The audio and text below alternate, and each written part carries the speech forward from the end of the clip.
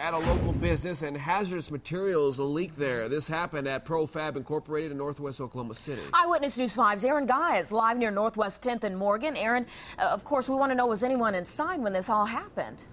Yeah, they did have a night crew on staff. We know that there were at least a handful of people. We talked to two of them that were inside. They said they saw all the smoke and called 911. Now, this is a big place. They didn't actually see the fire. I'm going to step out of the way. You can see we're talking about a 250,000 square foot um, building, this business here. So they said they didn't see the fire. They just actually saw all the smoke and called police. Now, here's what we know about it.